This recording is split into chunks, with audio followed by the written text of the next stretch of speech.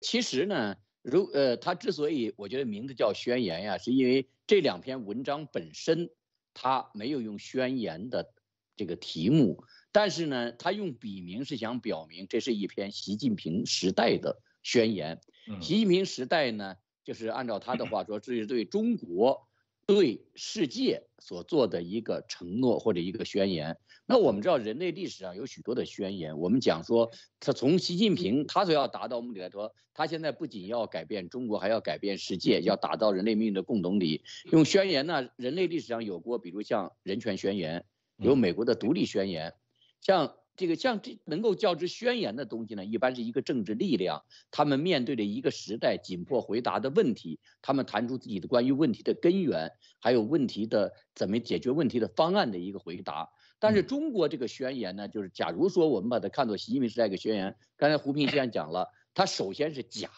就他所谈论的东西呢，实际上并。这很多的结论实际上是跟人民的切身感受是完全相反的，也是跟人类的政治经验、主流的这种文明发展的脉络的这经验教训这是相反的。那么第二呢，就是空。刚才习这个胡平先生也讲到了，在他的宣言中提到了一些历史大事件，每个事件都浸透了中国人民的血泪，也确确实实呢有过中国人民有切身的感受和切肤之痛。那很多是家破人亡的。这种痛苦，但都叫他一带而过，而且放到了一个非常恢宏、这气势恢宏的这样一个大片下进行叙述。那当然，这个洗脑呢，就是刚才胡平先生讲是洗脑教育一部分，大概也只能对这年轻人去。其实对于这个经历过这些事情来说的话，这其实就是悲剧，而且觉得非常起会听了会起鸡皮疙瘩。还有呢，我就是。大就是我们讲说呢，过去共产党啊，在搞改革开放之后呢，邓小平批过毛泽东时代的叫假大空。